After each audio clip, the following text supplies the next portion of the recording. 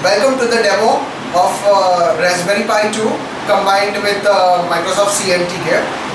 The goal of this uh, uh, proof of concept tutorial was uh, for people to understand that uh, we can now use CNTK, Microsoft CNTK, which uh, lets us do machine learning and use it for simplistic IoT tasks.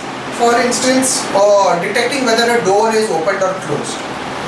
Now for the purpose of the demo, we have used uh, Microsoft CNTK with uh, residual GPU detection algorithm as well as uh, we have uh, used, uh, can you please turn the camera? We have used a simplistic setup of Raspberry Pi 2 combined with a webcam which keeps taking a photo at every 5 milliseconds.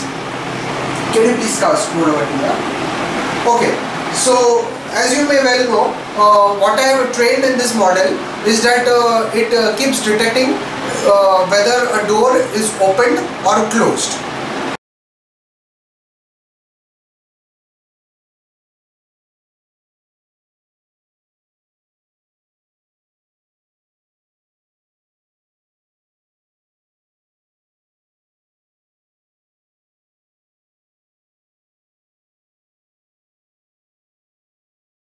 I've trained the model to detect only two states which are open and closed.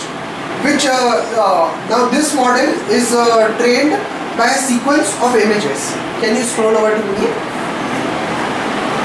So now if I open this door at this point and can you scroll over to the screen so that uh, people can see it.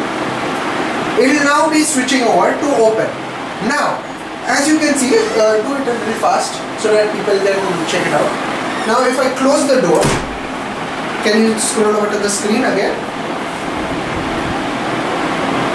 It'll show it state as closed.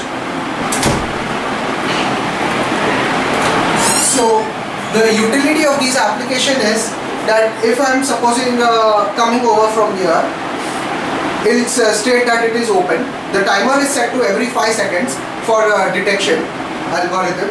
So, uh, well, that's it for the demo, folks. Can